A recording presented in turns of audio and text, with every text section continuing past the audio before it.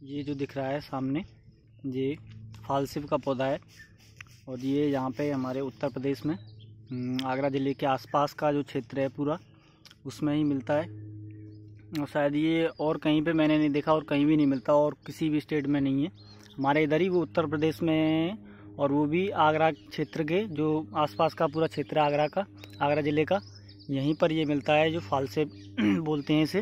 Red red colour के जो चनिया bore होते हैं ना ऐसे कलर के इसमें फल आता है।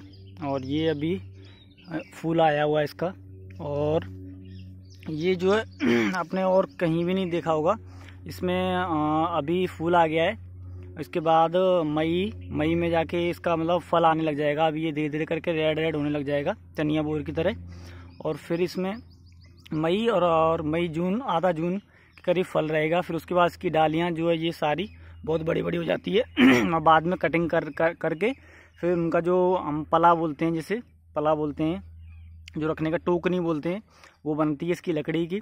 और बाद में जो कटिंग हो जाती है फिर अगले सीज़न से वापस कटिंग होकर और वापस रोपाई होती है इसकी ऐसे करके खुदाई। और फिर इसको जो है वापस इसमें फुलाने चालू हो जाते हैं। तो आपने अगर ये देखा हो और कहीं भी मेरे ख्याल से नहीं मिलता, ये हमारे इधर ही मिलता है और तो कहीं किसी को बताओ तो कोई बोलता है कि ये तो हमने देखा नहीं, ये सुना नहीं हमने। किसी किसी को तो ये खाना भी नहीं आता क्योंकि उसमें गुठली निकलती है तो वो ज़्यादा टाइट नहीं होती बोर की तरह। उसको साथ में ही खाते हैं मतलब वो। किसी किसी को दो अगर किसी अदर स्टेट वाले को, बंदे को खाने के लिए तो वो बोलता है, ये क्या गुठली भी है साथ में? लेकिन बोलते हैं कि जो ये खा लेना चाहिए।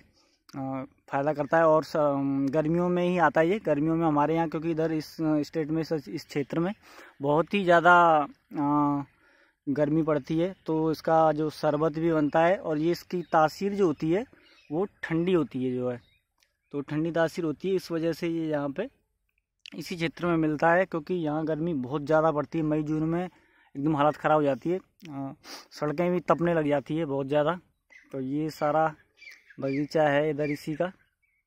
ये सारे पौधे इसी इसी के ही हैं फाल सेब के। ये आपने और भी कहीं अगर देखा हो तो ज़रूर बताएँ कमेंट करके। ये पूरा। और जो फूल हैं इसके, उसके बाद ये ऐसा बन जाएगा। और ये फूल ये आ रहा है। इसके ये अभी बंद हो जाएगा ऐसे फाल सेब की तरह जैसे ये हो गया है। तो और भी कहीं हो तो बताओ। और बहुत ही अच्छा लगता है खाने में। हम्म, जो बिल्कुल पक जाता है वो काला कलर का हो जाता है ब्लैक कलर का। तो बहुत मीठा लगता है खाने में और बहुत ही अच्छा रहता है खाने में।